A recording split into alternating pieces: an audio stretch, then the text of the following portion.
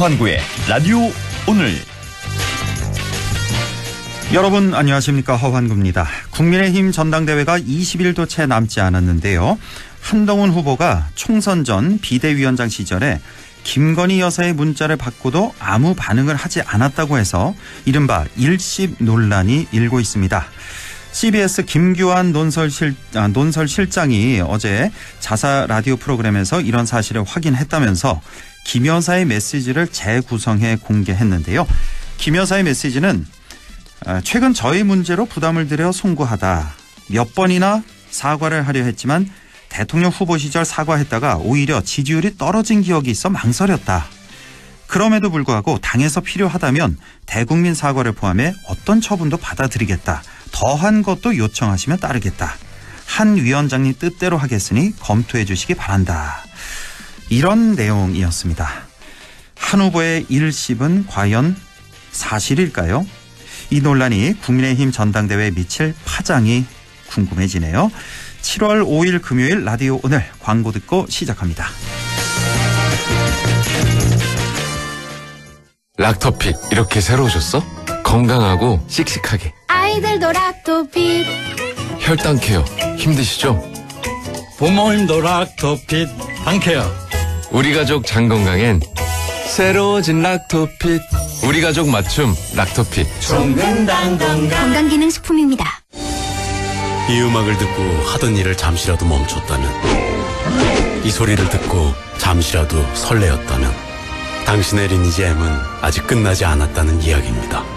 새롭게 쓰일 당신의 이야기. 신서버 윈다우드 오픈. 리니지 M 12세 이용가 당신은 아마 아직 모를 거야. 장기렌트 숨은 강자. 아마 믿지 못할 거야.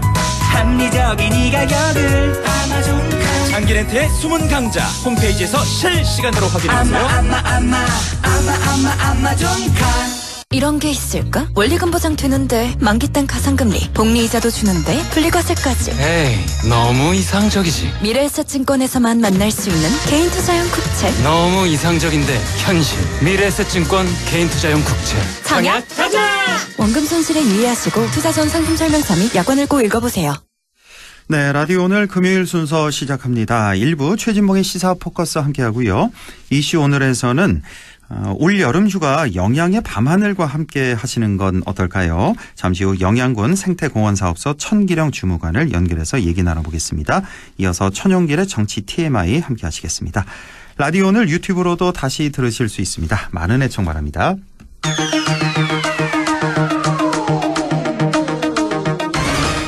최진봉의 시사 포커스 성공회대 최진봉 교수와 함께합니다. 교수님 안녕하십니까?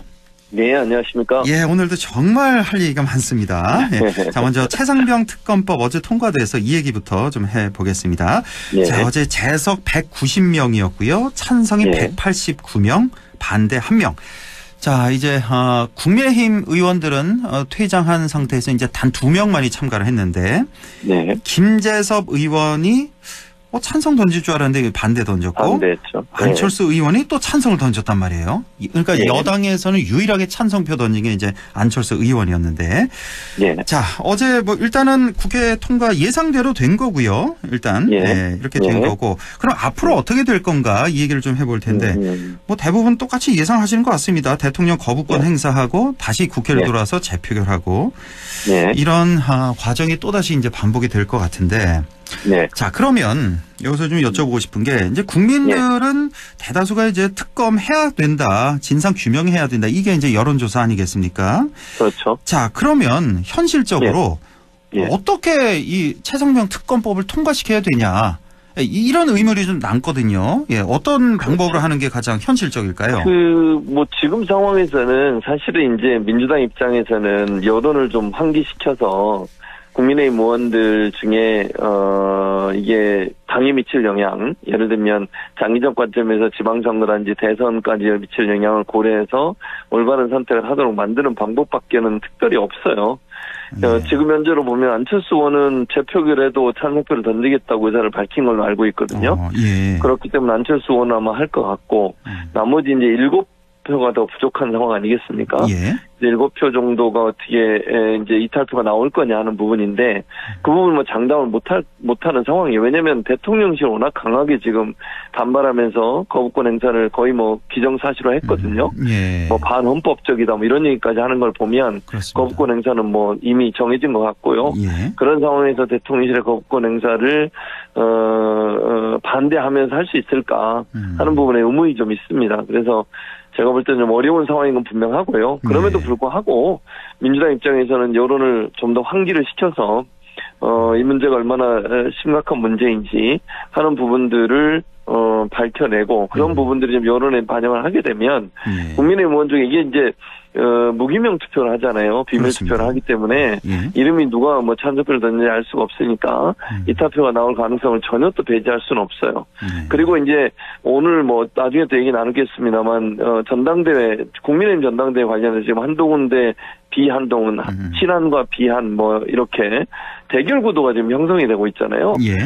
그래서 이게 또 영향을 미칠 가능성도 있지 않을까 하는 그런 아하. 기대는 일말의 기대는 좀 하고 있는 상황입니다. 그 얘기인즉슨 만약에 한동훈 대표 당선이 되면 여기서 예. 또 이탈표 뭐 그럴 수 있죠. 그리고 지금 있다. 이제 한동훈 전 비대위원장을 상대로 해서 친윤계가 본격적으로 또 뭐 저는 뭐그 윤석열 대통령에 가까운 분들이 본격적으로 공격을 시작했다고 보여지기 때문에 예, 예. 거기에 반발해서 예. 거기에 반발해서 친윤계로 분류되는 분들이 어 또 반대표 아, 찬성표를 던지지 않을까 이런 생각도 들기 때문에 예. 그런 부분을 조금 지켜봐야 될 것 같습니다. 어제 통과된 그 특검 법안을 보면 이제 야당 추천이잖아요. 특검. 예. 근데, 근데 지금 워낙에 여야 의원들 감정이 격화돼 있는 상태라서 예. 어, 10번, 100번을 올려도 똑같이 이제 도돌이표가 될 것 같아서 예. 아, 이 여- 야당 추천 이거 말고 제3자 예. 추천 뭐 한동훈 전 위원장이 좀, 어, 제시했던 이렇게 좀 양보를 해서 민주당에서 좀 양보를 네. 해서 특검법 다시 올리는 건 어떠냐 이런 의견도 있는데 예. 이, 이거는 어떻게 보십니까? 뭐, 가- 뭐 예를 들면 그 논의를 하겠다고 국민의힘이 얘기를 하면 가능할 수도 있다고 생각해요. 물론 지금 올라가 있는 사안에 대해서 이제 그걸 수정할 거지 하는 부분은 왜냐하면 거부권 행사니까 제 의견을 해야 되잖아요. 예. 근데 시점을 보면서 언제쯤 할 거냐 하는 부분도 중요하거든요. 예. 그 이제 15일 정도 대통령이 시간을 갖고 거부권 행사를 결정하게 되니까 음. 그러고 나서 돌아와서 바로 그럼 제 의견을 할 거냐 아니면 시간을 두고 8월쯤 할 거냐 이거는 이제 국회에서 결정할 문제거든요. 예, 예. 그 사이에 만약에 지금 말씀하신 그런 논의가 시작이 된다고 하면 뭐 여지는 있다고 봅니다. 여야 간의 협상의 여지는. 음. 다만 이제 그럼 추천 단위는 어떻게 제3자가 하더라도 누가 하느냐가 대단히 중요한 문제라고 보여지거든요. 예. 그 일단은 먼저 말씀드리고 싶은 것은 대통령실의 위법이라고 얘기하는 위법은 절대로 아닙니다. 야당이 어 뭐 특검을 추천하는 것이 이미 헌법재판소에서 9명 전원의 어 찬성으로 위법이 아니란 얘기가 나, 얘기란 결과가 나왔어요. 지난번에 아, 박근혜 예. 특검할 때 있지 않습니까? 예, 예. 국정농단 특검 당시에 예. 어 이걸 이제 부정적으로 보는 분들이 헌법 소원을 냈었어요. 이게 예. 잘못 왜 야당이 추천하는 게 잘못됐다 특검을 아하. 그런데 그 전원 재판부 전원 9명 모두가 찬성으로 해서 야당이 추- 추천하는 게 문제가 없다 법적으로 그런 결론이 나왔기 아, 때문에 헌재 판결이 있었군요. 있었습니다. 야당 추천 2017 문제 없다. 예. 제가 기억하고 2018년인데 뭐 예. 그 연도는 약간 제가 틀릴 수도 있으니까요. 그러나 예. 그 재판이 이미 있었기 때문에 그건 헌법적으로는 전혀 문제가 없어요. 음. 다만 이제 이거를 통과시키기 위해서 여, 여당이 전향적으로 정말 적극적으로 검토해보겠다 하면서 들어오면.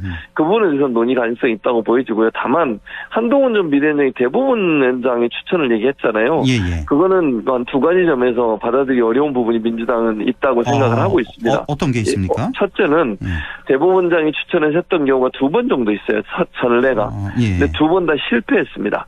특검을 아. 제대로 하지 못하고 성과를 못 내고 특검이 끝난 적 끝나버렸거든요. 그게 MB 그- 특검이었던가요? 네, 그렇습니다. 예, 맞습니다. 특검이고, 예, MB 그 BBK 특검이었는데 BBK 특검. 예. 두 번째 논란은 뭐냐면 이게 이제 대법원장은 대통령이 임명을 하잖아요. 그렇습니다. 그러면 과연 이게 공정할까라는 의문이 생기는 것이고요. 예. 또 하나는 이게 특검을 통해서 검, 조사가 끝나도 최종적으로 법원 가서 판단을 받는 거거든요. 그렇죠. 예. 근데 대법원장이 추천한 사람이 특검을 했을 때 그 사람이 어떤 결론을 냈든 내든 대법원의 대법 원장이 추천한 사람이면 법원에서 과연 공정하게 재판을 할 수 있을까? 음. 이런 의문이 또 생기는 거죠. 아 그런 게 또 있군요.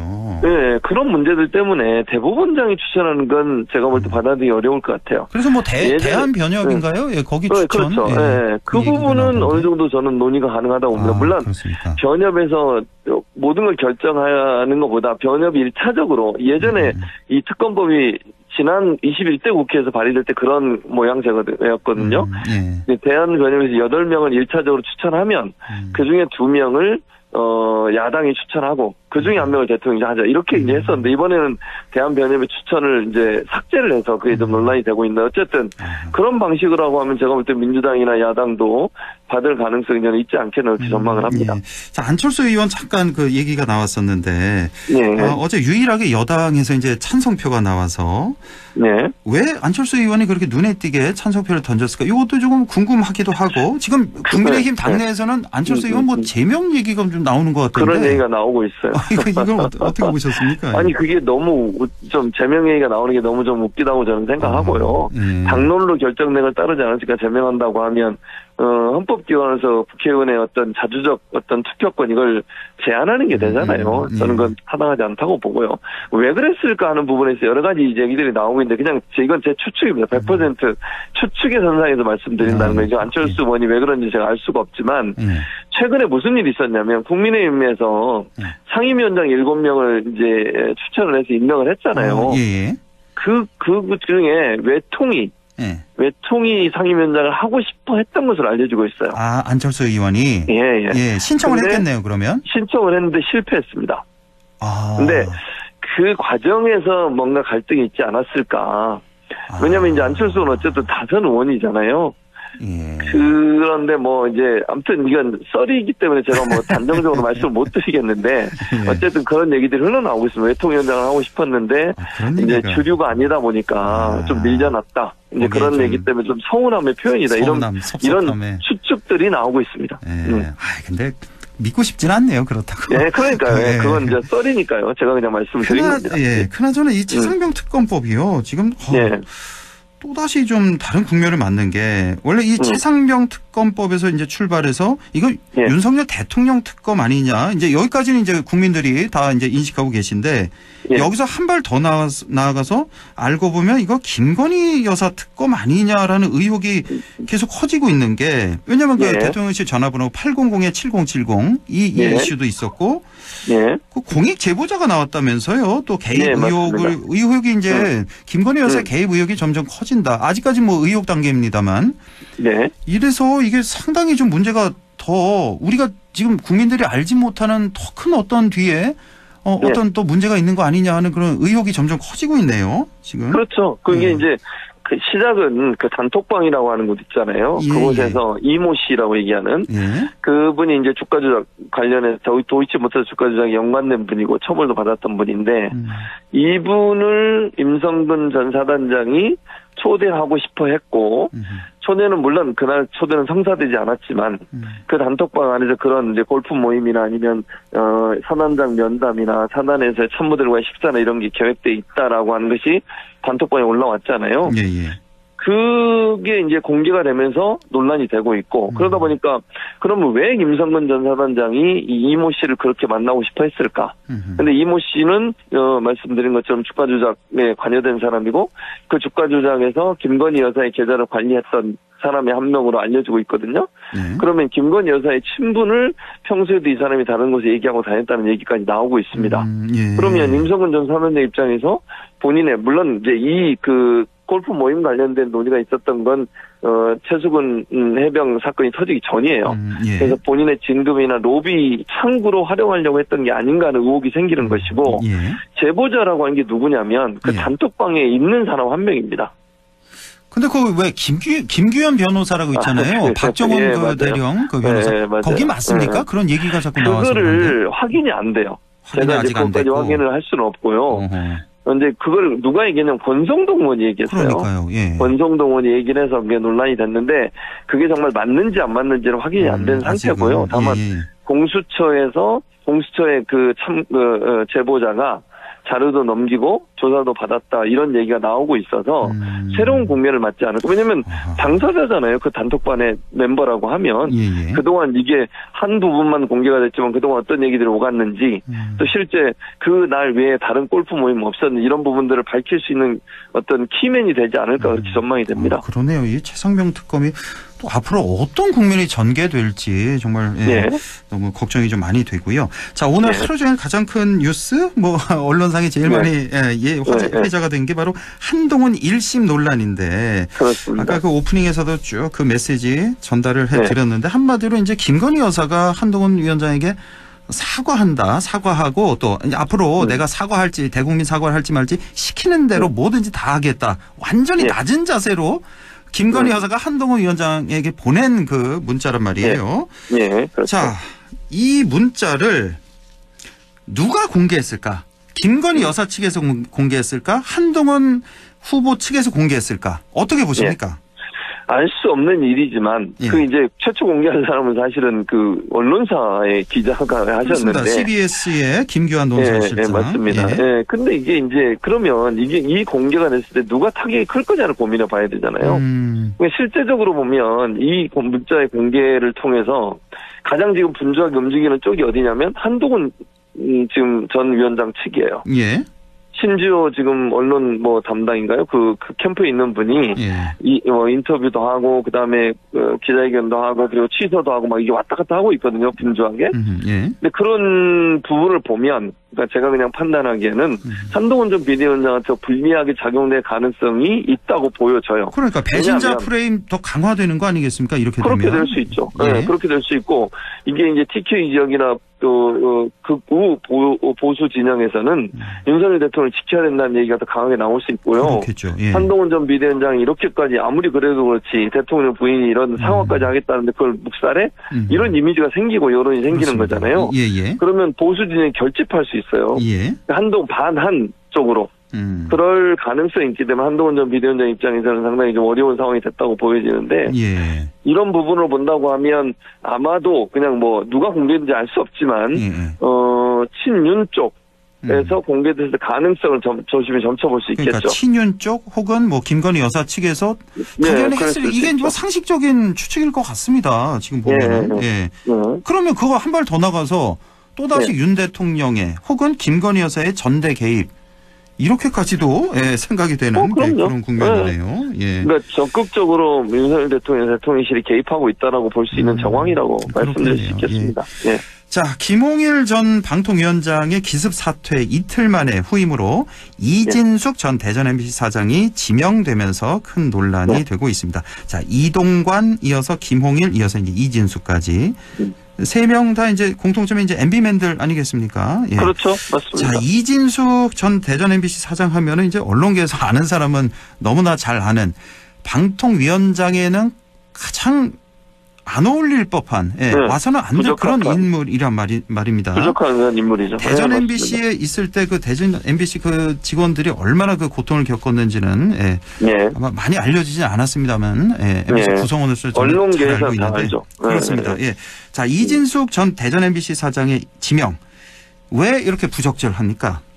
일단 그분은요 기본적으로 방송의 공정성을 지킬 자격도 없고요 생각도 없는 것 같아요. 저는 제가 이제 어제 그 지명 받고 마, 그 발, 발언하는 시간 있잖아요. 아, 예, 예. 그꽤 시간에 말을 했습니다. 듣고 예, 예. 저는 정말 치를 떨었습니다. 어떻게 이런 분을 아니 발언 내용이 뭐 언론이 흉기래요. 언론이 아니 그. 흉기 흉기라고 얘기했잖아요. 그리고 음. 무슨 바이든 날리면 보도가 잘못됐다고 얘기하면서 언론의 자유가 보장 보장돼 있고 노조가 언론을 장악하고 있대요. 음. 노조가 언론을 장악하는데 이렇게 막 압수수색을 하고 노조가 언론을 장악하는데 KBS가 이렇게 사장 맘대로 막 가- 굴러가고 이럽니까? 음. 언론을 언론을 노조가 장악하고 있다고 하면 과연 그런 일이 벌어지고 있냐고요 지금 저는 음. 아니라고 보거든요. 예. 아니 어, 제작진들이 KBS 예를 들면 제작진들이 프로그램 제작하고 있는데 그것도 중단해 버리고 음. 뉴스에도 일정 부분 개 입하려고 하고 이런 일들이 버젓이 벌어지는 게 KBS 사태입니다.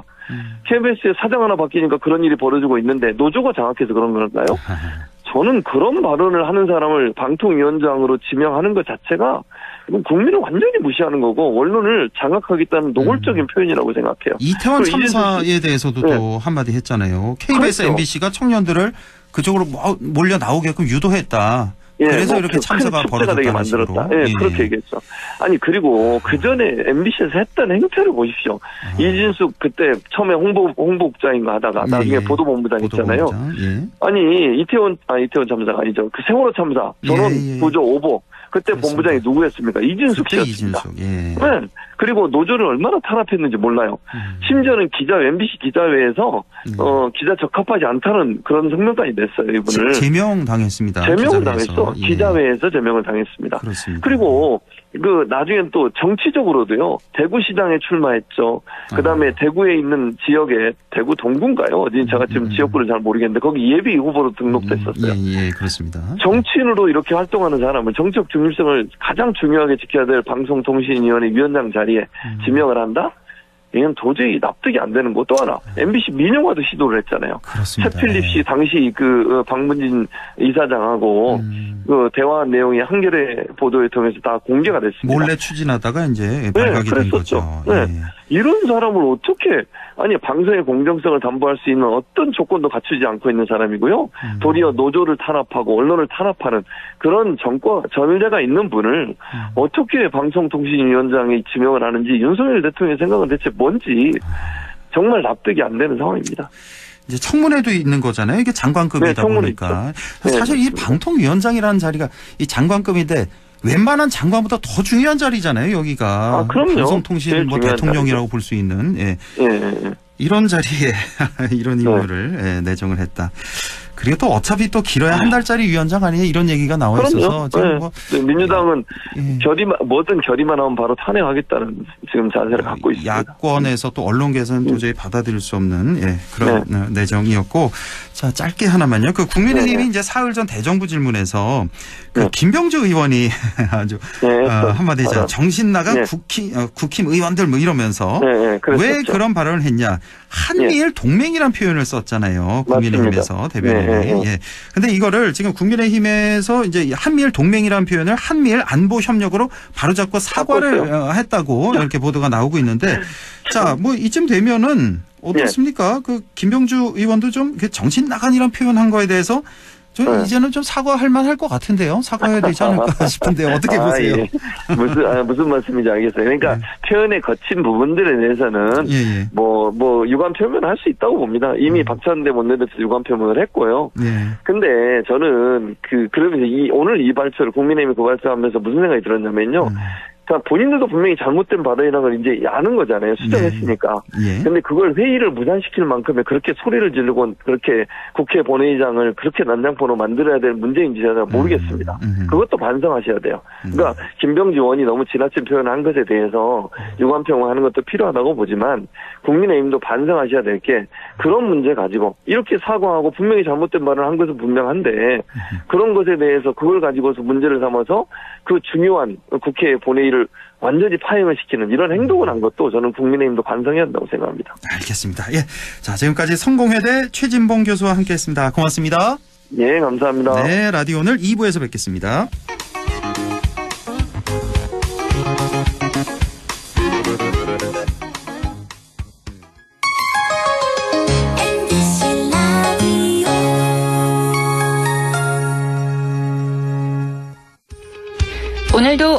안전하게 음주운전 예방수칙 알려드립니다. 첫 번째, 술자리가 예정된 경우 미리 귀가 방법을 정하고 차는 가져가지 않는 것이 안전합니다. 두 번째, 음주 후 자전거나 전동 킥보드를 이용하는 것도 음주운전 처벌 대상에 포함됩니다. 세 번째, 과음을 한 다음 날에는 대중교통을 이용해 주세요. 숙취 음주운전 역시 처벌 대상입니다. 네 번째, 음주운전을 방조하는 경우에도 3년 이하의 징역형 또는 1천만 원 이하의 벌금형에 처해질 수 있습니다. 적극적으로 말려주세요. 위험한 음주운전 미리 예방하여 소중한 생명을 지켜주세요.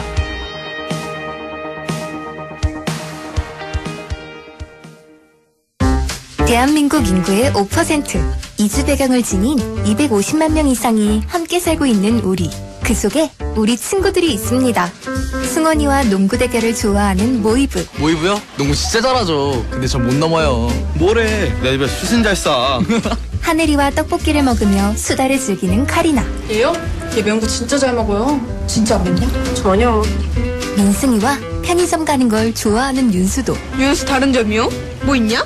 글쎄? 우리에게 중요한 건 우리 모두 친구라는 사실.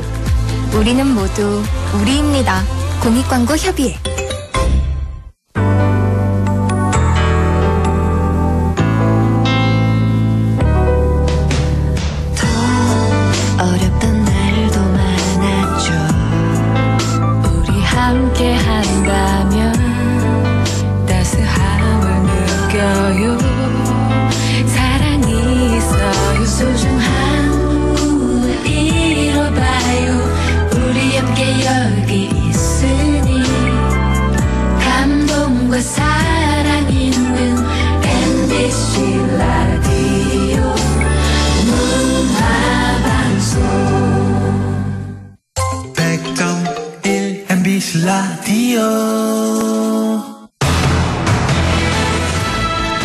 네, 6시 30분 57초 지나고 있네요. 이슈 오늘 시작합니다.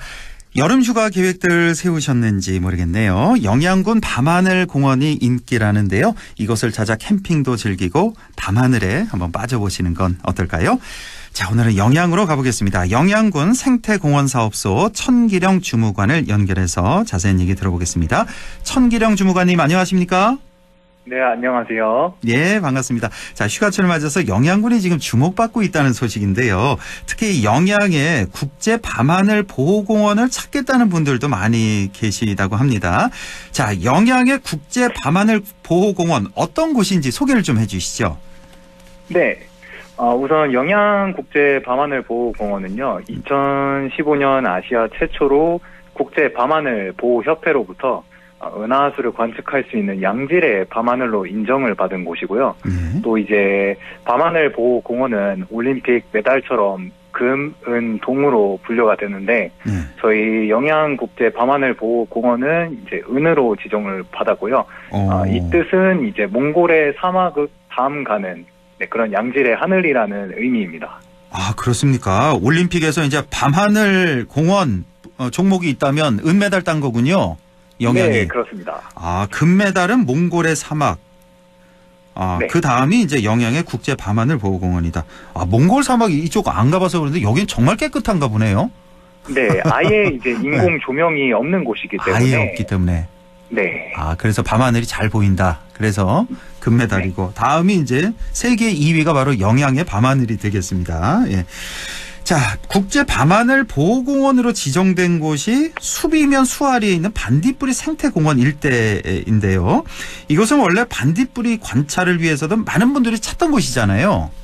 네, 맞습니다. 네. 특히 이제 6월에서 8월 사이로 반딧불이 관찰이 가능한 곳이고요. 네. 이제 반딧불이 종류로는 늑반딧불이가 있고 애반딧불이가 있고 또 이제 다른 반딧불이 종류도 많이 있습니다. 특히 이제 8월 말 정도에 반딧불이 개체 수가 많기 때문에 많은 분들이 찾아주시고 계십니다. 아, 그렇군요. 반딧불이 이제 6월에서 8월 사이에 관찰이 가능하다. 그 중에서 8월 말에 아, 가장 반딧불이를 잘 볼 수 있다는 말씀이시고 인근의 수화 계곡도 유명하잖아요. 여기도 뭐 여름철마다 피서객이 많이 찾는 곳이잖아요. 네, 맞습니다. 네. 여름철마다 이제 캠핑장이나 아니면 펜션, 수련원 등을 이제 예약해주신 많은 분들이 어, 소화 계곡에서 다양한 물놀이를 즐기시고요. 예. 그리고 장마철이 아닌 쨍쨍한 날씨에는 어, 가족이나 친구분들이 함께 오셔서 시원한 수화 계곡에 어, 몸을 맡겨 보시는 걸 좀 추천드리고 있습니다. 예. 영양의 밤하늘을 가장 잘 관찰할 수 있는 곳일 텐데요. 바로 천문대. 예. 천문대도 최근에 새 단장을 마쳤다고요. 네, 그렇습니다. 저희 반딧불이 천문대는 1층 전시물 제작 설치 공사를 마무리를 해서 아, 5월 2일부터 재운영을 시작을 했습니다. 예. 그리고 이제 이용객분들은 이전과는 다르게 천문대 1층에서 어, 천문학 그리고 우주를 주제로 하는 다양한 영상 콘텐츠 그리고 이제 천문대에서의 그런 추억을 남길 수 있는 포토존 콘텐츠를 즐기실 수 있습니다. 아, 그렇군요. 5월 2일부터 재운영을 시작했다. 이제 한 두어 달 정도 지나고 있군요. 자, 천문대 방문할 때 뭐 유의할 점이나 미리 알아둬야 할 게 있을지 이것도 좀 궁금한데 이용 방법 좀 알려주시죠. 네. 사실 많은 이용객분들이 천문대 방문 전에 이제 프로그램 예약이 가능한지에 대해서 여쭤봐 주시곤 하시는데요. 예, 예. 예, 저희 반딧불이 천문대에서의 모든 프로그램에 대한 매표는 이제 오직 예약 없이 현장 접수만 가능하다는 점을 알려드리고 싶습니다. 예. 또 이용 방법에 있어서 주간 기준 현장 매표 시에 어, 반딧불이 천문대와 별생태 체험관이라는 두 건물을 모두 사용하실 수 있고요. 예. 야간에는 반딧불이 천문대만 이용하실 수 있습니다. 아, 그러니까 예약 없이 현장 접수만 받는다는 거. 그러니까 주간, 야간 이용이 좀 다르군요. 주간에는 아, 반딧불이 천문대와 별 생태 체험관 둘 다 이용할 수 있고, 야간에는 반딧불이 천문대만 이용할 수 있다는 점 알아두시면 되겠습니다. 자, 밤하늘 공원을 찾는 분들 숙박도 좀 고민이 될 텐데요. 밤하늘 감상 위해서 캠핑하시는 분들도 많으신데 캠핑장 이용은 어떻게 하면 될까요? 아, 네. 캠핑장 이용은 사전 예약제이기 때문에 당일 예약은 불가능하시고요. 아, 이건 또 예약을 해야 되는군요. 캠핑장은 네, 미리. 그렇습니다. 예.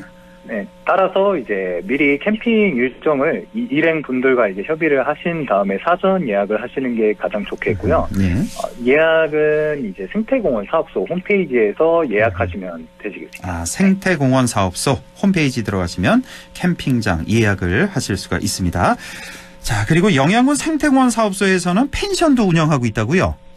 네, 그렇습니다.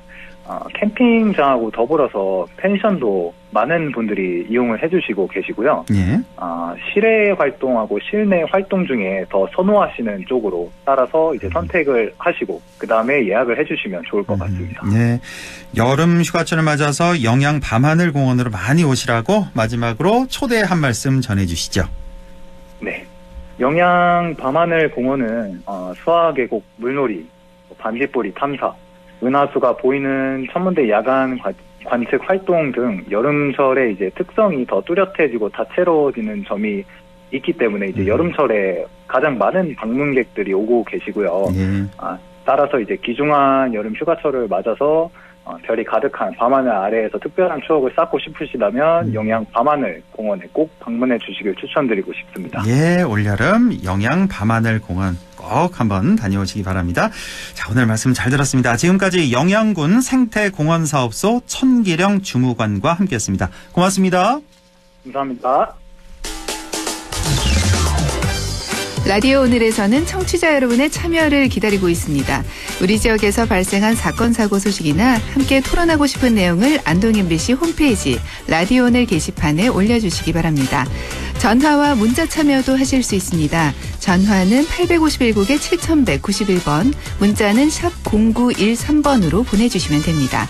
문자는 단문 50원, 장문 100원의 정보 이용료가 있습니다. 여러분의 많은 참여 바랍니다.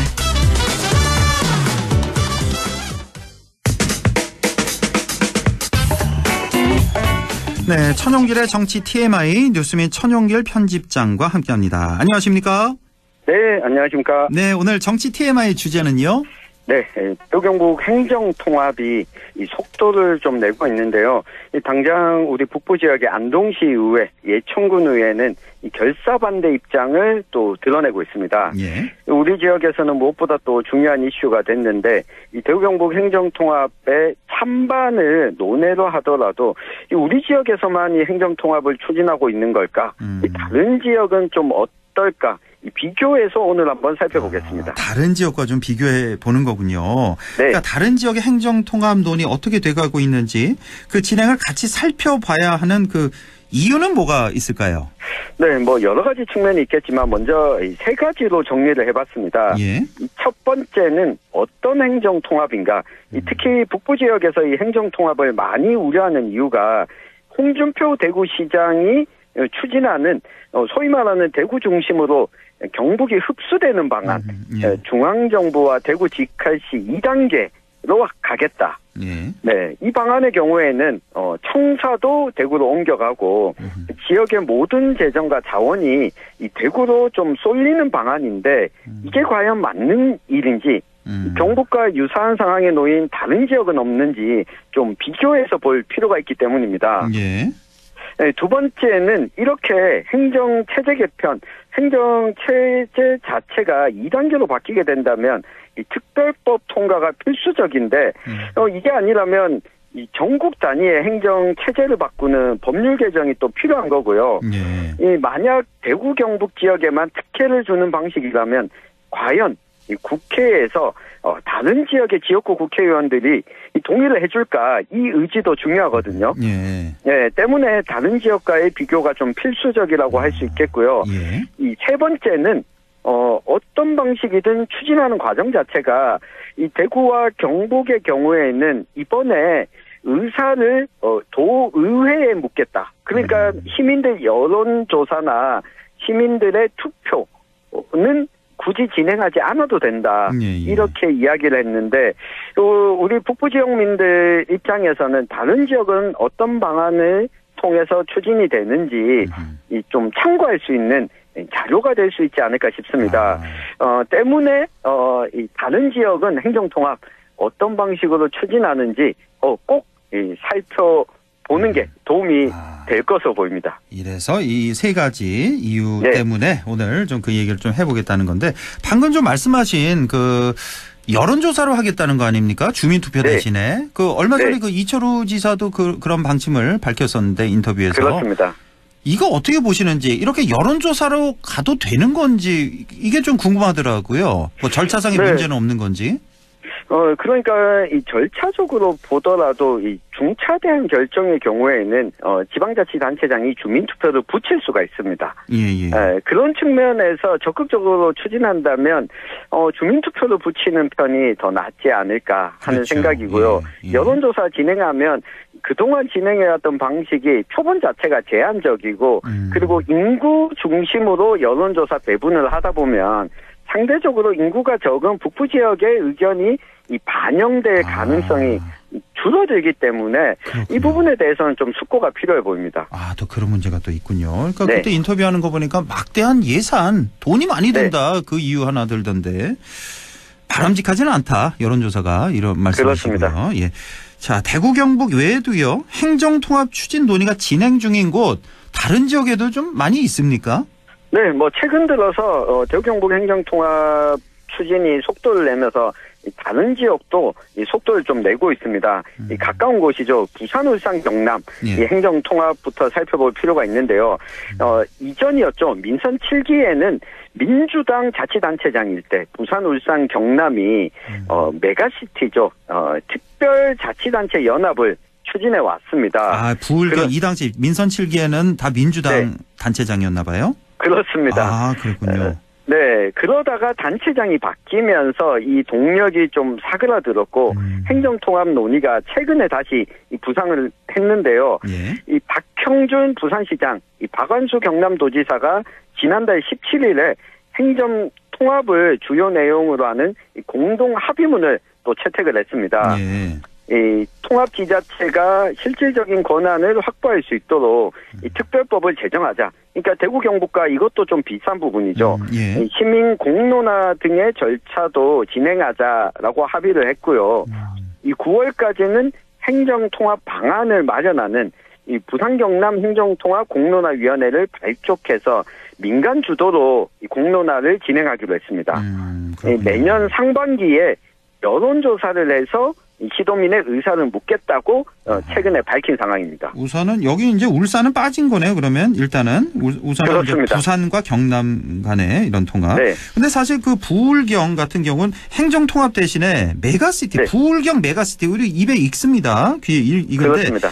예, 부울경 메가시티 이렇게 특별자치단체 연합으로 방향을 처음에는 잡았잖아요. 네. 예. 그러다 좀 튼 거네요. 행정 통합으로. 네, 이- 이게 앞서 언급했던 것처럼 자치단체장의 소속 정당이 바뀌면서 이 바뀌기 직전에 2022년 4월 19일 그러니까 지방선거 직전에 예. 어, 특별지방자치단체를 출범을 시켰습니다. 예. 어, 우리나라에서 특별지방자치단체를 제도로서 도입한 이후 첫 사례였는데, 이 2023년 1월부터 뭐 광역철도망, 그리고 공동 사무를 수행할 예정이었지만, 소속 단체장의 소속 정당이 바뀌면서 경상남도, 울산시가 기존 입장을 번복한 겁니다. 이게 부산잔치에 들러리 서기 싫다. 아, 그 이유였고, 결국은 어렵사리 출범했던 특별지방자치단체 연합, 어, 규약 폐지안을 경남도 의회와 울산시의회가 통과시키면서 사실상 해산을 했고요. 네, 최근 들어서 이 부산, 울산, 경남의 행정 통합 논의를 하자고 했는데, 어, 김두겸 울산시장이 이 공개적으로 어, 반대 입장을 밝히면서 울산은 또이 빠진 채 부산, 경남의 행정 통합 논의로 이 방향을 틀게 된 거였습니다. 아, 이렇게 됐군요. 네. 자, 이제 부울경 알아봤고, 호남 쪽은 어떻습니까? 그쪽에 왜 광주, 전남? 이쪽도 좀 네. 얘기가 있지 않습니까? 그렇습니다. 이게 대구 경북과 광주 전납이 가장 좀 흡사한 구조를 갖고 있는 곳인데요. 이 도청이 광주에 있다가 전남 무안으로 옮겨간 것도 시기가 이 경북도청이 옮겨온 시기와 또 이 비슷했기 때문에 예. 꼭 한번 살펴볼 필요가 있습니다. 조금 빨랐죠? 절, 어, 광주, 전남이 이쪽이. 그렇습니다. 그죠? 예. 이 광주시와 전라남도 역시 메가시티와 특별자치도 추진을 내세우면서 행정 통합은 아직까지는 좀 섣부르다라는 입장인데 이 전남도지사는 어, 특별자치도를 추진하는 게 먼저지 행정 통합보다는 이, 이것이 우선이고 행정 통합을 가더라도 전남도 특별자치도를 먼저 추진한 다음에 광주를 포함하는 형태. 그러니까 전라남도로 광주 광역시가 다시 돌아오는 형태로 가야 된다. 이런 의지를 밝혔습니다. 어, 반면 이 강기정 광주시장도 행정통합의 필요성은 강조해 있는데 지방정부보다 중앙정부의 역할이 중요하다. 이렇게 강조를 했습니다. 그러니까 대구 경북과 좀 차이가 나는 부분인 거죠. 이 지방자치단체 간의 어, 협의도 중요하지만 중앙정부가 의지를 가지고 이 전체적으로 행정 체제 개편이 우선 이루어져야 된다라고 하는 점을 광주 전남은 강조하는 방향으로 가고 있습니다. 아, 그렇군요. 그러니까 이제 광주, 전남 같은 경우는 여기 이제 뭐 행정통합 얘기가 이제 계속 나오고 있습니다만 어, 어떻게 보면 전남이 광주를 좀 흡수하려는 듯한 다, 좀 그런 의, 좀 어, 그런 이미지가 좀 있는데요. 보니까. 맞습니다. 맞습니까? 그쪽 예. 방향으로 전남도지사가 강한 의지를 드러내고 있습니다. 우리와는 조금 다른 예, 그런 네. 상황이군요. 자, 그러면 충청은 어떻습니까? 여기도 좀 진행이 되고 있는 거예요? 네, 충청의 경우에는 네개의 광역자치단체가 있습니다. 대전광역시, 세종특별시, 그리고 충남, 충북.